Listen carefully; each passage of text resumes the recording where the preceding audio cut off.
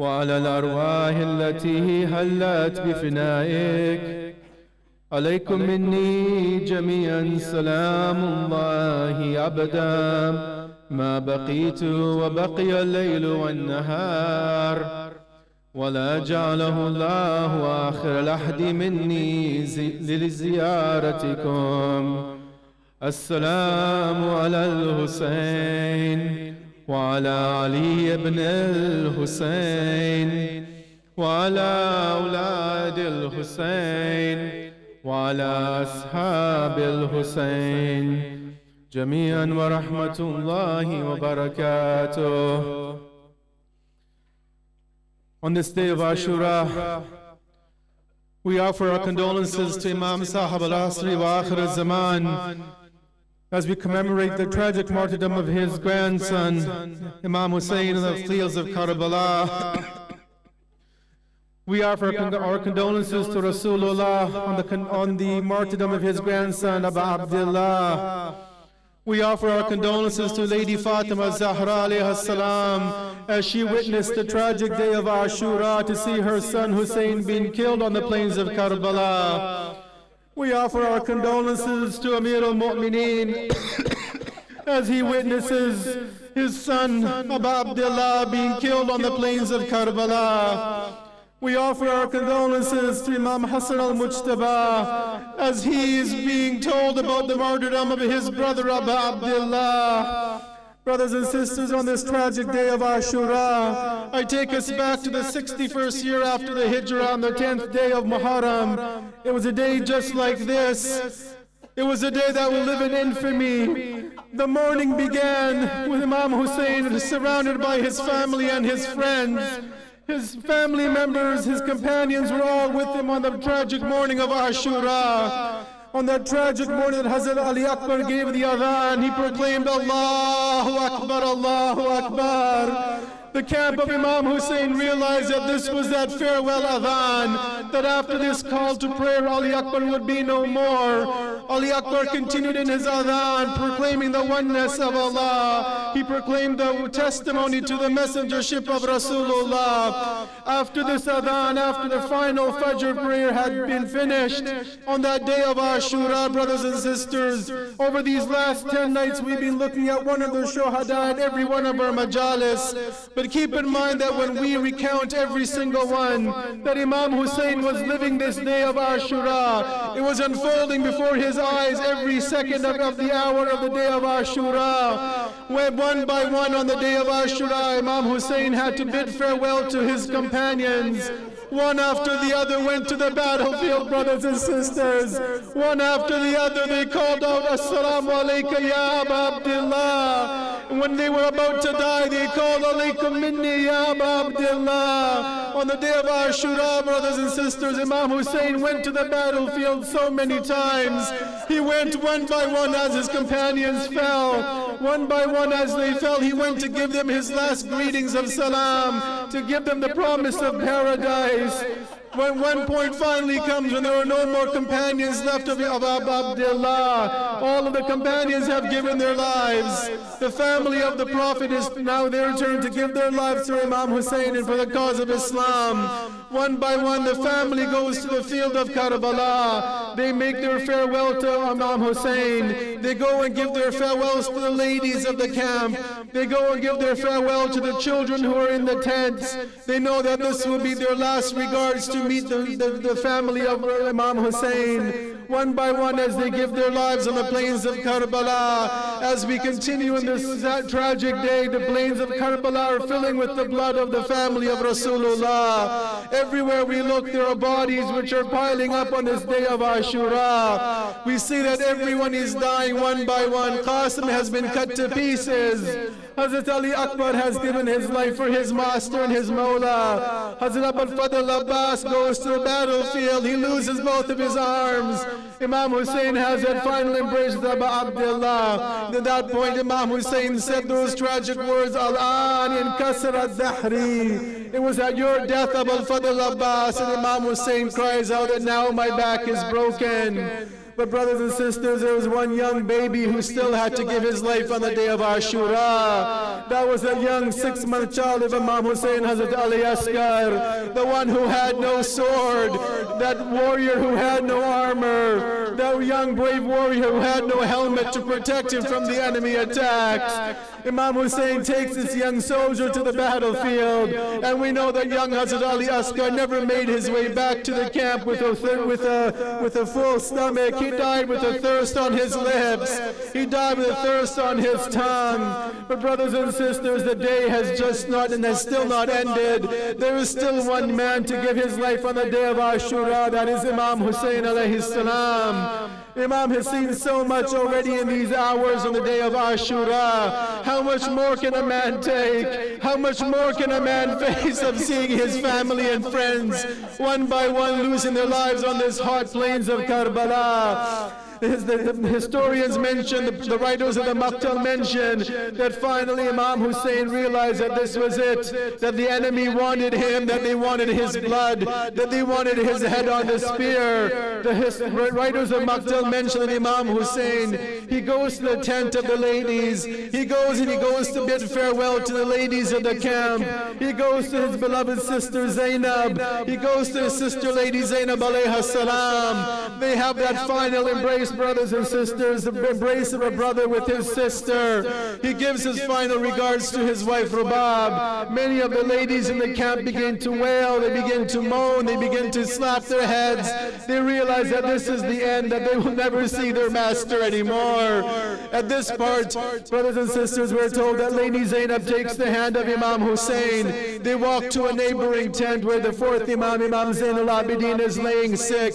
Imam Zain al-Abidin, by the will of Allah, Allah has been sick during this tragic ordeal of Ashura to protect the Imamah, to protect the legacy of Ali Muhammad. At this point, Imam Hussein and Lady Zainab make their way into the tent of Imam Zainul Abidin. Imam Zainul Abidin is lying in a state of unconsciousness. He eventually comes out of this the state that he's in. He sees his father, the Rabbi Abdullah. When he had last seen him, his beard was black, but now his beard has turned to white from the grief and sorrow of the day of Ashura. Not only is it turned white, but it's turned red because of the blood of Hazrat Ali Asghar all over his beard.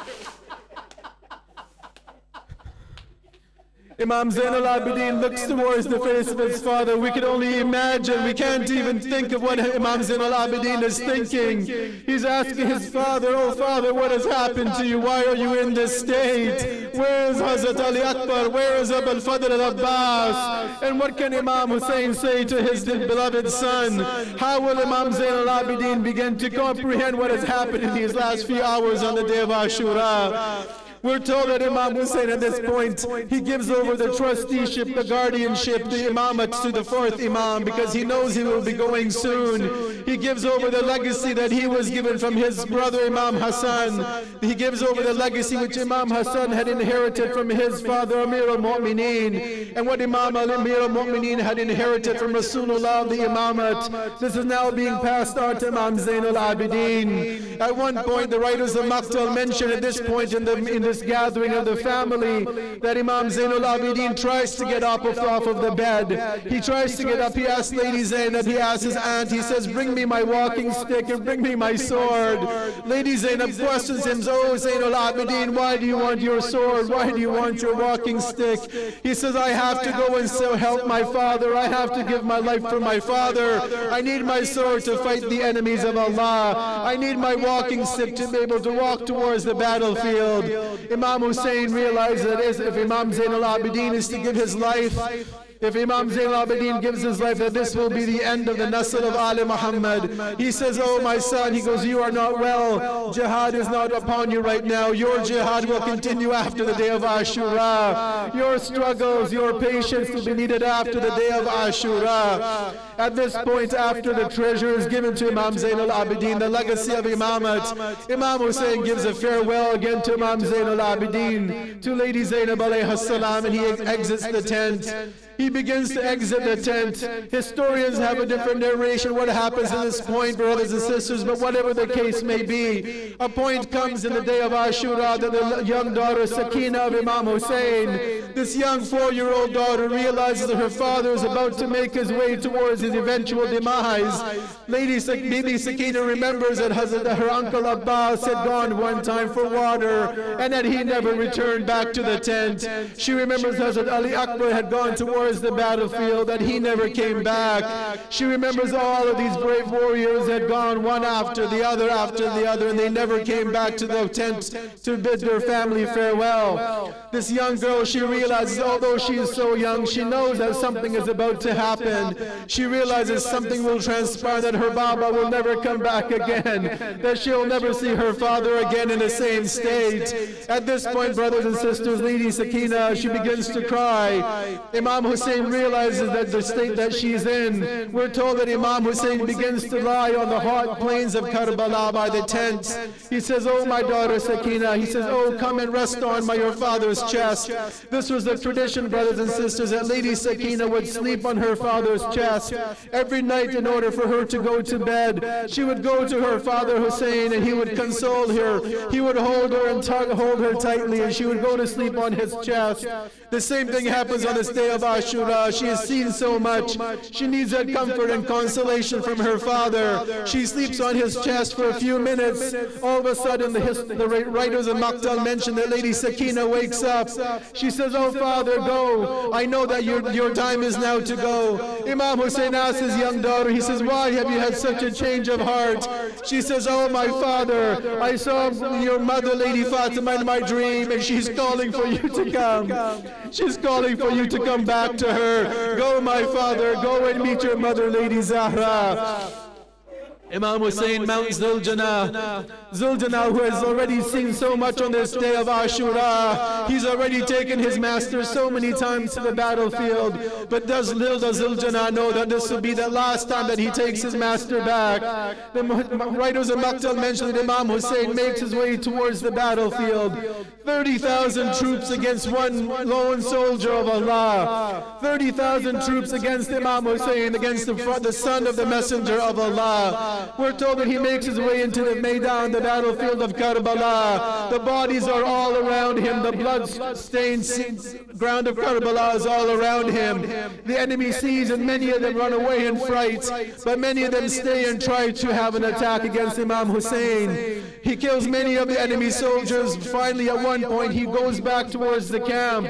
He goes back to the camp for one final salam to the family. He greets the family one more time, and this is the final farewell Imam Hussein will make on the day of Ashura. He bids his farewell to all the ladies. He bids his farewell to the children of the camp, and he makes his way back towards the field of Karbala. Brothers and sisters, this is that last farewell that Imam Hussein will have with all of his family. He makes his way towards the army. He makes his way towards the enemy camps, and they begin their attack against Imam Hussein. Imam Hussein fights bravely as the son of Haydar al-Karrar. Imam Hussein fights, and many of them flee. Many of the enemies are killed. At one point, however, the enemy forces begin to say that kill Imam Hussein, end this battle right now. People begin to throw rocks at Imam Hussein. People begin to throw arrows at Imam Hussein. Historians mention that one arrow was shot at Abdullah. It hits Imam Hussein right in the forehead. It hits Imam Hussein right in the forehead. He pulls the arrow out of his forehead and blood, blood begins to drip onto his face. His blood begins to fall all over his face. He holds his blood, he holds his wound as he continues to fight. At that point, we're told an enemy throws a rock from the right side and it hits Abu Abdullah on the right side of the face. The attacks are continuing one after the other after the other. Incessant attacks against the presence of Abu Abdullah. Eventually, the, the attacks become harsher and harsher. Historians mention at one point that Imam Hussein falls off of his horse. He falls off of his horse and his young nephew Abdullah, the son of Imam Hassan. He sees what's happening from far away. He escapes from Lady Zainab. He runs towards the battlefield. Hazrat this young 10-year-old boy runs towards the battlefield. He goes to protect his uncle Imam Hussein. As he's over top of the body Imam Hussein, the curse Shimr is present. Shimr tries to hit Imam Hussein, but he hits Abdullah. We're told that his arm falls off. His arm is severed off of his body. He begins to wail and moan. At this point, the cursed Harmala shoots that third arrow that he shot. As we mentioned, he shot seven arrows on the day of Ashura. Four of the arrows hit their target. That third arrow was the one that hit Abdullah. Abdullah falls with the arrow in his chest and he dies near Abu Abdullah. But brothers and sisters, there's one arrow left in the bag of Harmala. After this young Abdullah dies, we're told that the enemy forces begin to surround Imam Hussein. They begin to poke and prod at Imam Hussein. Some have arrows, some have spears, some have their swords.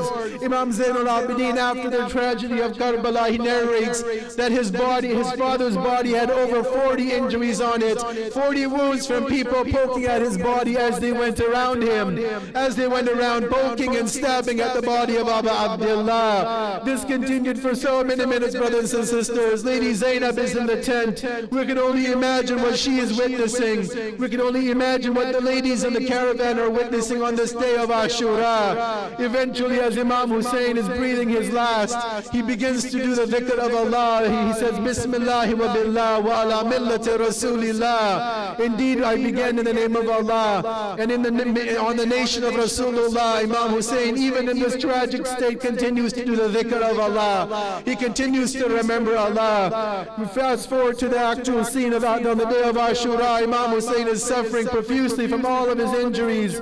He's suffering all of a sudden that arrow comes, that fourth arrow that that curse, that curse Harmala had shot. He shot four arrows on the day of Ashura that had their target. That fourth arrow pierces the chest of Abu Abdullah Hussein. Historians mention that it pierces his chest and goes through into his heart. Some of the books of Maqtal mention that it goes all the way through to the back of his body. And in this sad state, Imam Hussein is feeling the pain. The blood is dripping from his chest. The blood is coming from all parts of his body. The Imam Hussein again begins to do the remembrance of Allah. He begins to remember that he's going back to Allah, that this is his eventual end. At one point, brothers and sisters, we see that that cursed Shimr begins to approach Imam Hussein. Cursed Shimr begins to want to do what he, what he has planned to do for so many days. I leave you with this one last statement from our 12th Imam. Our 12th Imam who is grieving today on the day of Ashura. Our 12th Imam who is witnessing the tragic scene unfold on the day of Karbala, the tragic event where Lady Zainab is seeing her brother being killed on the day of Ashura, where Lady Zainab, Lady Fatima is seeing the tragic events of her brother being, her son being killed on Ashura. When our 12th Imam, Imam al-Mahdi, speaks about what happens on the day of Ashura, in Ziyarat Nahiya, our 12th Imam says, and I'll end with this, he says that Shimr jalisun ala sadrihi, that Shimr is sitting on the chest of Imam Hussein, that Shimr is sitting on the chest of Imam Imam Hussein. The Shimr grabs Imam Hussein by the beard. He lifts up Imam Hussein's head. He lifts up his head so his neck is present. And Shimr takes the sword. He takes the sword and sword and puts it on the neck of Imam Hussein. Wa Husseina. Wa Muhammada. Wa Musibata.